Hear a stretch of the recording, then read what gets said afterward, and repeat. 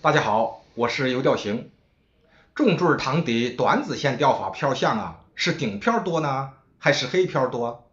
这是一个很有意思的话题，因为这个问题啊，要是让钓友们回答的话，会有两种截然不同的答案。比如喜欢梅州钓法的钓友，他们比较一致的认为呢，顶漂多；而另一部分钓友却说啊，下顿和黑漂多。比如来自江苏的一位叫千坠塘底的钓友，他说啊，我发现铅坠塘底超短子线钓法，黑漂比较多，顶漂很少。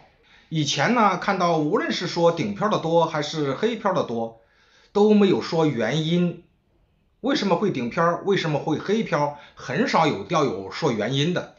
令我没有想到的是啊，一位来自北京的。叫野水的钓友不仅说哪种漂相多，还说出了原因。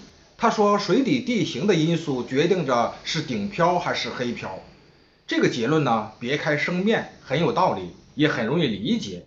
他是这样说的：我在使用梅州钓法垂钓时，仅仅是八指环触底，不管铅坠上方的太空豆是否打开。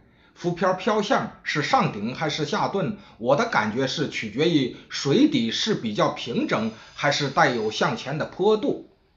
如果比较平整，漂向多数是上顶；而如果有坡度，则漂向多数是下顿。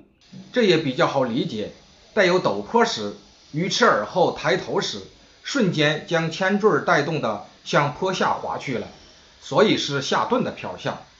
而水底比较平坦时，铅坠没有向下滑动的条件，则自然是把铅坠带起来了，所以漂向是上顶。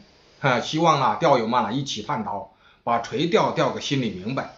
这位野水钓友说的是不是很有道理呢？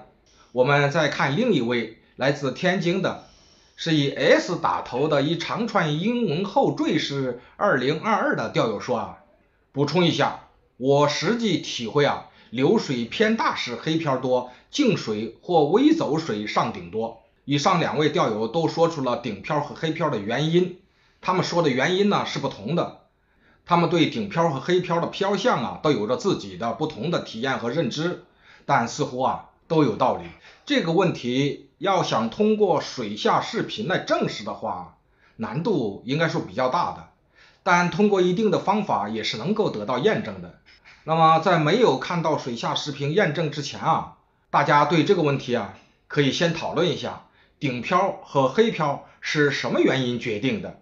希望呢能在评论区说出你的宝贵体验和认知，或许对我们大家都有所启发和帮助。好了，喜欢视频请关注，长按点赞三秒，谢谢了。